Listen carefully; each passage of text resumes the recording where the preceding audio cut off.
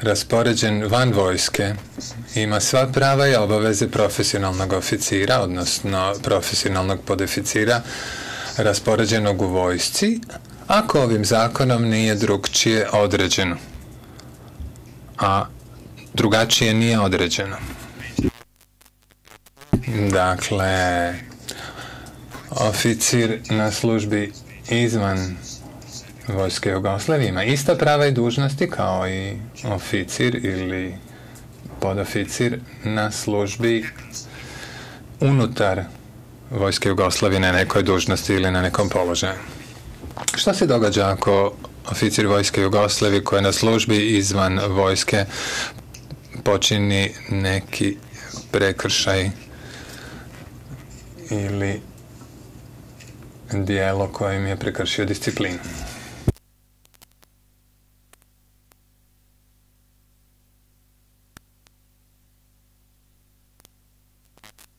Zato moramo pogledati član 159, strana 39. Hvala tajniku pošto je to našao prije nego što sam ja i rekao.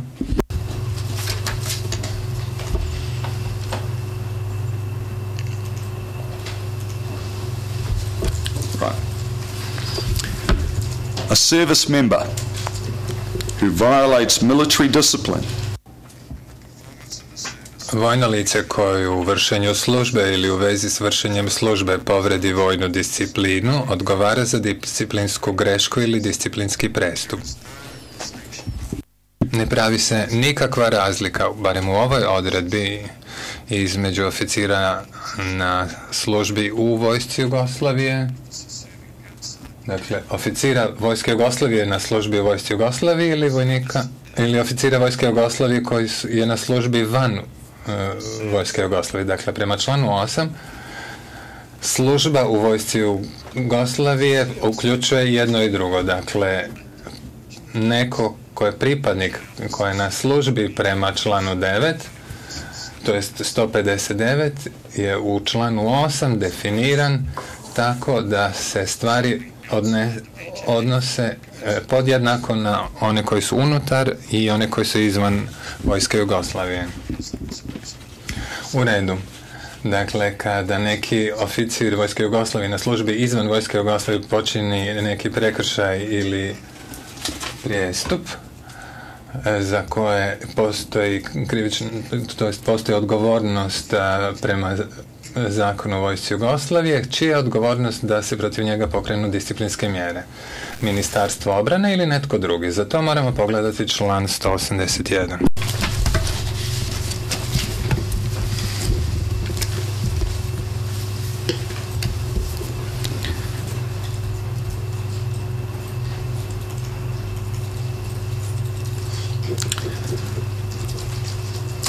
states the following individual tu stoji sljedeći pojedinci su ovlašteni da privedu počinioca disciplinskog prekršaja pred vojni disciplinski sud u Savezno ministarstvo obrane. Dakle, tu se radi na nešto što je ograničeno na Savezno ministarstvo obrane.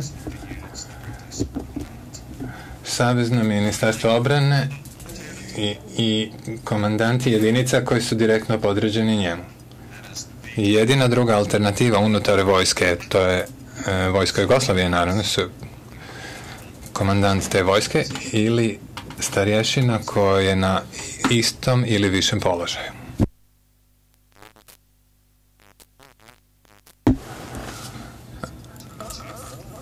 Dakle, jednostavno tu nema prostora za tumačenje Sarkona zakona o vojsci Jugoslavije na način na koji to čini moj kolega.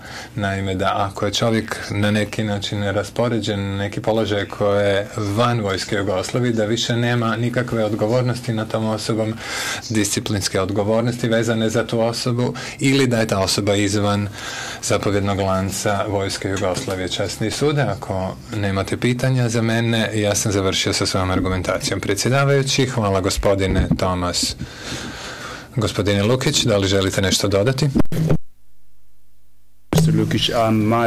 Predsjedavajući, izvinjavam se gospodine Lukić. Gospodine Harmon, i vama se izvinjavam. Gospodin Harmon, nema problema, časni sude prihvatam. Časni sude, prvo, dozvolite da komentarišem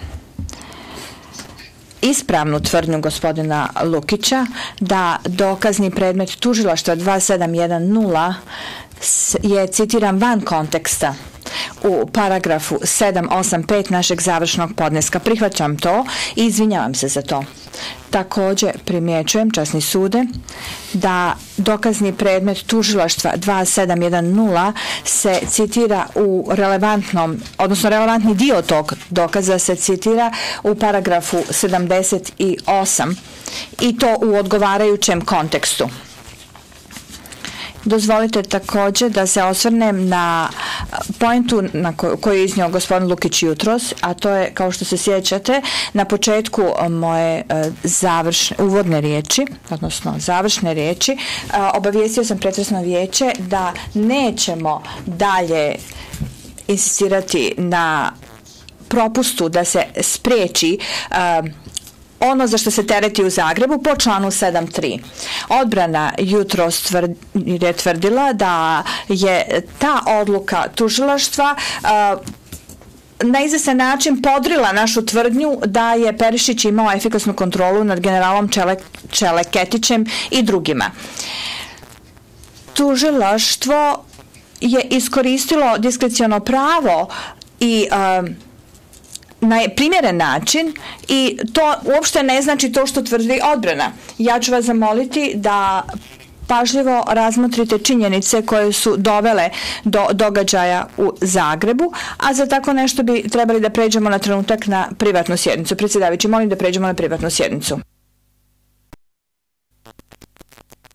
Sekretar. Sada smo ponovo na javnoj sjednici. Predsjedavajući, hvala lijepo gospodine sekretaru. Izvolite gospodine Harmon. Gospodin Harmon, sada bih želio da se osvrnem na tvrdnje odbrane iznesene na stranicama transkript 14807 14808. To su sljedeće tvrdnje odbrane. Da je general Perišić pokušao da ubijedi e, pripadnike Vrhovnog savjeta odbrane da ljudi koji su došli iz Bosne i Hrvatske nisu željeli da se bore za svoju domovinu, nemaju mjesta u vojsci Jugoslavije. Gospodin Lukić kaže da general Perišić nije mogao da ubijedi e, pripadnike Vrhovnog savjeta odbrane da prihvate tako odlučan stav i kada je odbijen prijedlog uh, generala Perišića kada je VSO odbio taj prijedlog, odbrana tvrdi sljedeće. General Perišić je izgubio svoj položaj vlasti koji bi mu omogućio da bilo kome bilo šta naredi da uradi. Sljedeće, izgubio je svoje ovlaštenje da izdaje naredbu sa stanovišta pretpostavljenog i da bilo koga pošalje u VRS i na kraju, njegova naredba prema tome nije imala obavezujuću prirodu, nije imala obavezujući karakter. I ja bih želio sada da ispitamo činjenice. Vijeće je vidjelo dokazni predmet tužilaštva 709, a to je transkript 14. sjednice Vrhovnog savjeta odbrane u verziji na engleskom časni sude riječ je o stranicama 32 do 36 tog dokumenta Kontekst je sljedeći. General Perišić je Vrhovnom savjetu odbrane podnio jedan dokument u kojem je predložio Vrhovnom savjetu odbrane da ljudi koji ne žele da služe u Hrvatskoj ili u Bosni treba da budu izbačeni iz vojske ako to odbiju.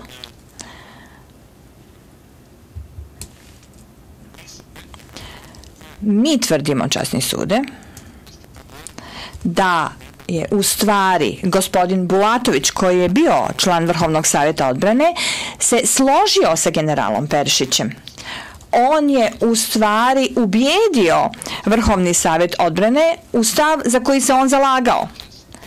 Oni samo nisu htjeli da se izreknu sankcije ljudima koji odbijaju da odu u te druge vojske, da odnosno da te sankcije budu tako direktne. Oni su željeli da te sankcije budu indirektne, da se ljudi indirektno kazne što su odbili da idu u te vojske. Gospodin Bulatović u tom tekstu kaže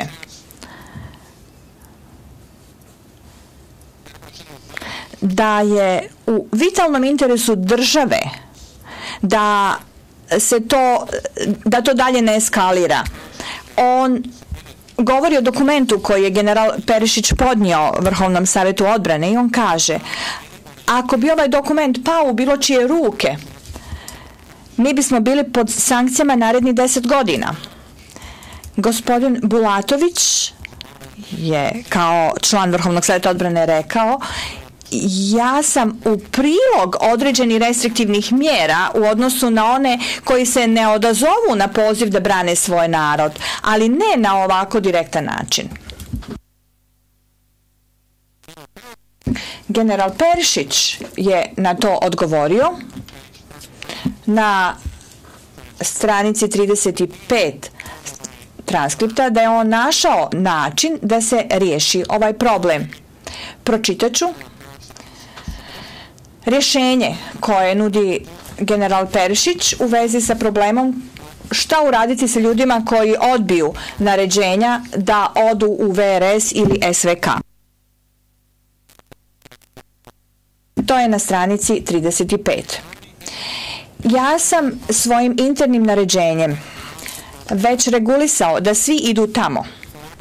Ko neće da ide, treba da se nađe modus i mi smo našli kriterije. Na primjer, ako neće da ide tamo, a ima preko 30 godina staža, možemo da ga privremeno penzionišemo, da to ne uvažavamo. Reći ćemo da ne zadovoljava na dužnosti i sve drugo, osim da mu napišemo da nije hteo da ide tamo. Dakle, mi njima nećemo dati nikakvo zakonsko uporište. Međutim, mi možemo ovu naredbu, a riječ je o dokumentu o kojem sam govorio, dokumentu koji je on prezentirao Vrhovnom savjetu odbrane kako bi ga VSO razmotrio. Dakle, međutim, mi možemo ovu naredbu po svim drugim segmentima da preradimo i da dostavimo predsjedniku, a da samo izostavimo ono što se odnosi da mora da ide. Mi ćemo na drugi način pronaći kako da ga se rešimo.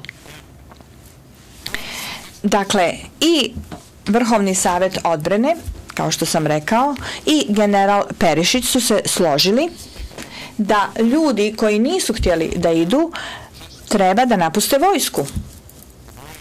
Samo je bilo pitanje načina na koji bi se riješio taj problem. Česni sude, suprotno tvrdnjama odbrane, general Perišić nije izgubio poziciju vlasti, odnosno moć pretpostavljenog da nekoga pošalje u VRS ili SVK. To jednostavno nije tačno. On jeste slao ljude u VRS i SVK, mi smo to iznijeli u našem podnesku, ja sam o tome govorio u svojim ranijim napomenama kada je bilo, kada smo vidjeli naredbe o premještaju, vidjeli smo naredbe o premještaju ljudi iz raznih kadrovskih centara do tih vojski i natrag, i on je nastavio da to uporno radi kroz cijeli rad sve do kraja rata. Dakle, on nije izgubio tu moć.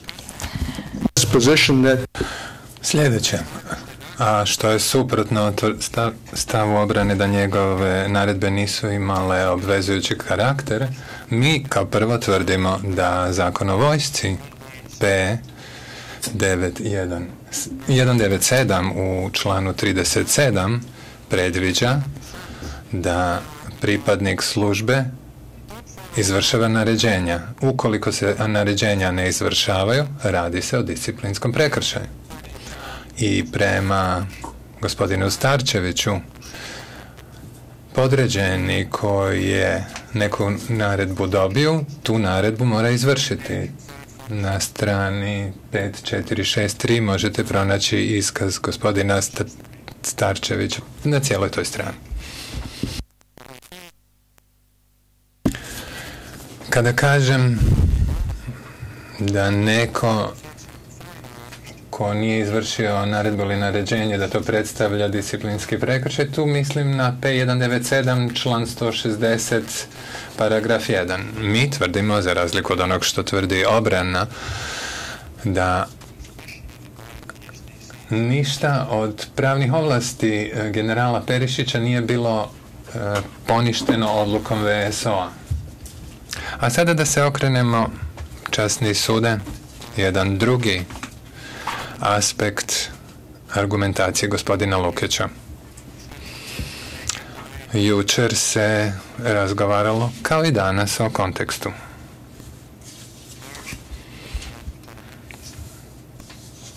Dosta vremena se radilo o raspravi o želji SRJ da se u nekom trenutku ostvari mir. Taj je trenutak bio kada je kontaktna grupa iznijela svoj prijedlog. U tom trenutku možemo vidjeti da dolazi do političkog razilaženja između političkog rukovodstva Republike Srpske i SRJ kada su rukovodioci politički rukovodioci Republike Srpske odbili plan kontaktne grupe, došlo je do promjene u pristupu kod političkog rukovodstva SRJ. Milošević je bio prilično uznemiren. SRJ je bila pod sankcijama prema tekstu koji smo vidjeli. On je želio da rukovodioci Republike Srpske prihvate taj mirovni plan.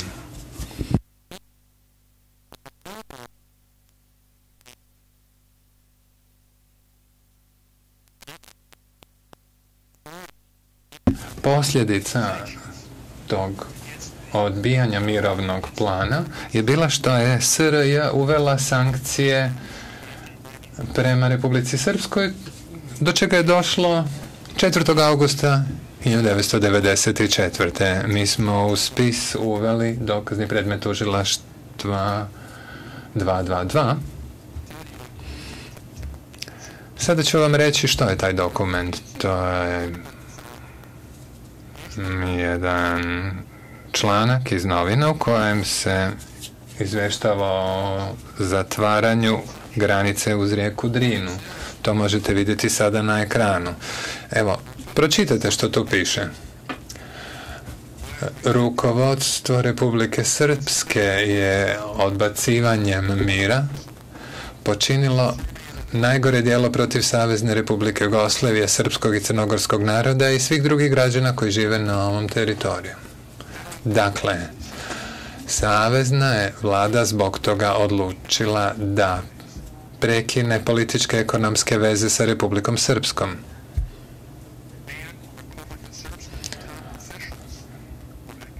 Zabrani ulazak najviših funkcionera Republike Srpske u Zagradi Skupština, predsjedništvo vlada na teritoriji SRJ. Granica SRJ zatvorena je za svaku vrstu prometa roba prema Republici Srpskoj, osim kada je riječ o hrani, odjeći i lijekovima. Časni suden.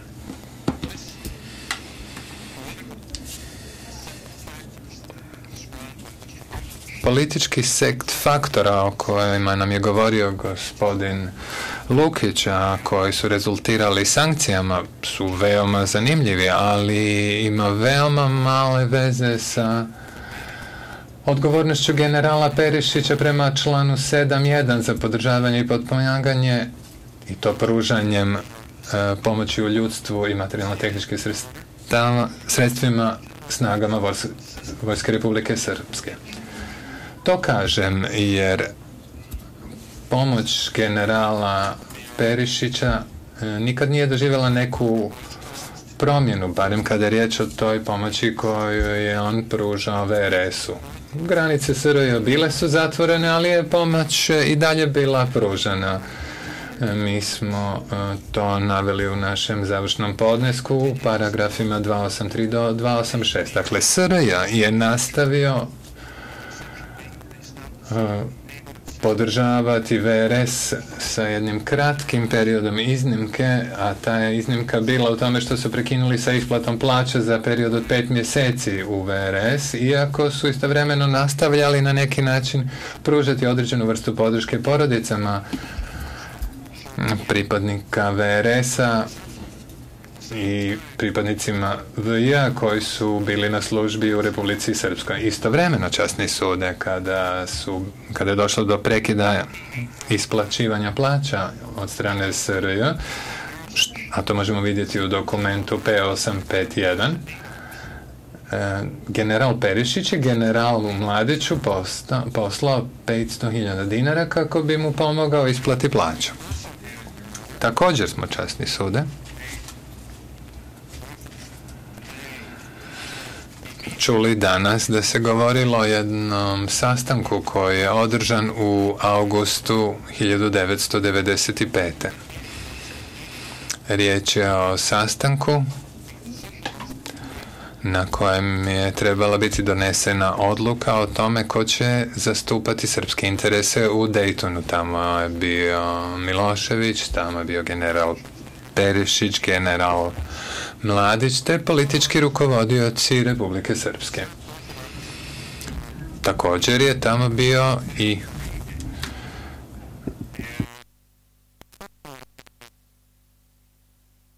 Patrijah Irenej.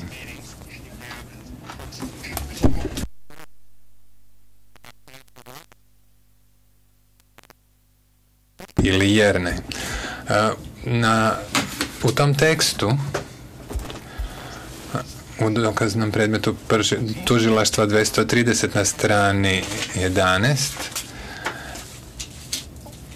on je predsjedniku Miloševiću sugerirao da se prekine blokada na Drini august 95. Predsjednik Milošević odgovorio.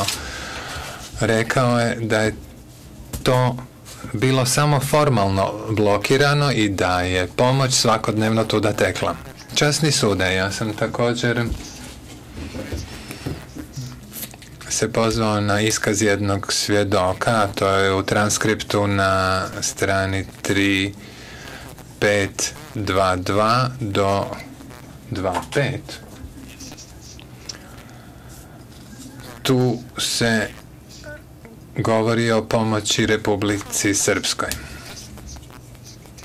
Ne samo da je pozadinsko obezbeđenje bilo upućivano VRS-u od strane generala Perišića. On je nastavio da šalje i ljudstvo u VRS.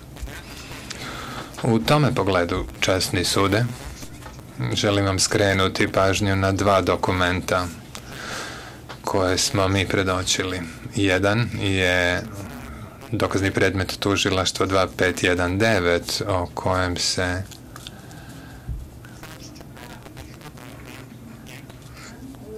govori o izvjesnom Jankoviću. U našem podnesku o njemu se govori o paragrafima 546 i 547. Dakle, da vam kažem nešto o tom dokaznom predmetu 52519. Riječ je naime o pismu koje je general Mladić poslao generalštabu vojske Jugoslavije i Perišiću u kojem konkretno traži da se Jankovića uputi